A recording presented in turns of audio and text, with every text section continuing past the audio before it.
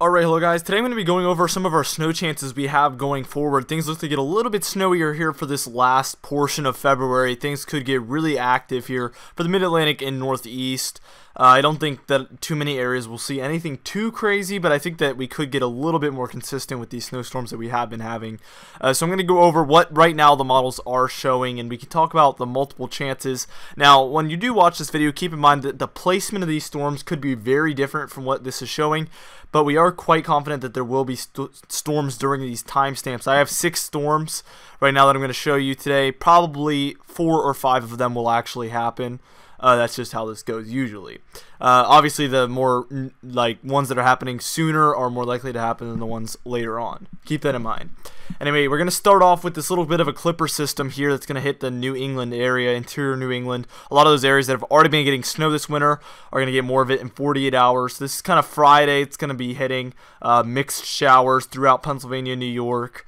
Uh, Vermont, New Hampshire, Maine, going to be kind of messy. We will have a forecast out on that, of course, probably tomorrow.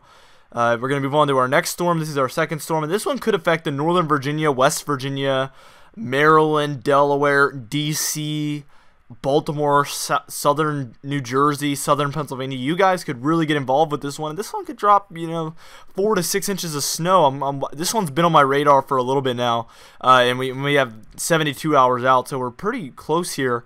Uh, so for Northern Virginia, this one looks like a good chance here. It's a pretty moderate snowstorm here, so we're going to keep a very close eye on that one.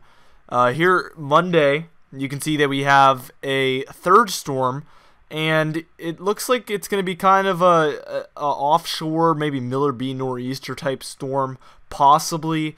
Uh, but it looks to go quite far out to sea. Now, this one, if the placement goes a little bit further north, this one could be quite a nice storm uh, for the for the northeastern United States. But notice Connecticut, Rhode Island, Massachusetts, Boston. Uh, you're all all snow, so a lot of you guys could start making up for some of the snow that you haven't been getting the rest of the winter uh, with some of these storms. Now we're going to move on to one more.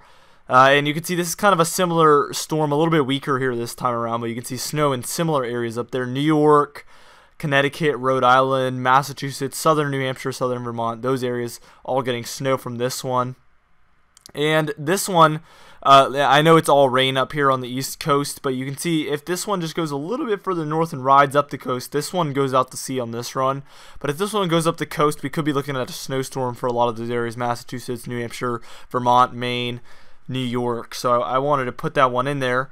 Uh, and also, this is getting kind of long range now, so this is really, you know, possible that this doesn't happen at all.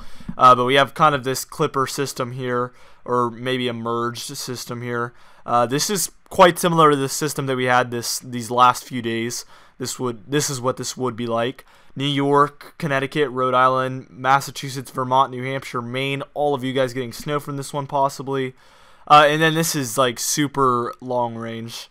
Uh, but I just wanted to point out that they are having snowstorms still showing up in the long range. So this means that things could stay snowy for quite a while.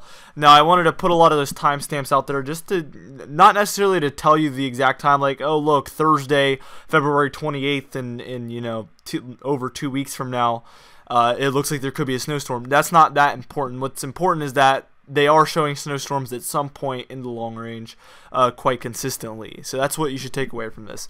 Anyway, guys, I'll see you in the next video. Thanks for watching.